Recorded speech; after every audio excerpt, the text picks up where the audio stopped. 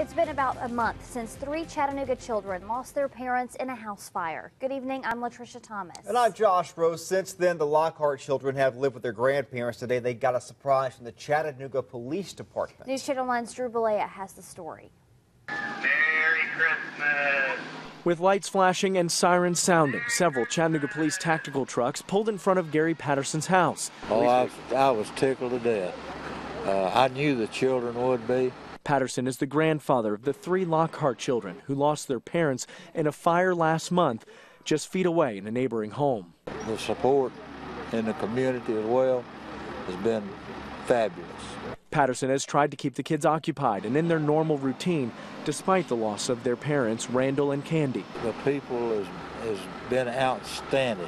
Smiles and kindness have replaced tears and heartbreak on this little North Shore street. We've had uh, donations from Georgia. The Chattanooga Fire Department replaced a bathroom in the home, and today the police department brought fun to a neighborhood in need. the three kids and their friends talked on the SWAT truck speakers and played with the lights. Patterson says he's seen more community support in the last month than he had in the previous 67 years.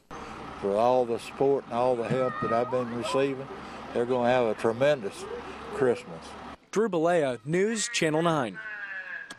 Patterson also said a big thank you to Red Bank Elementary School where the children go. So far, over $1,500 in cash and gift cards have been collected for the family.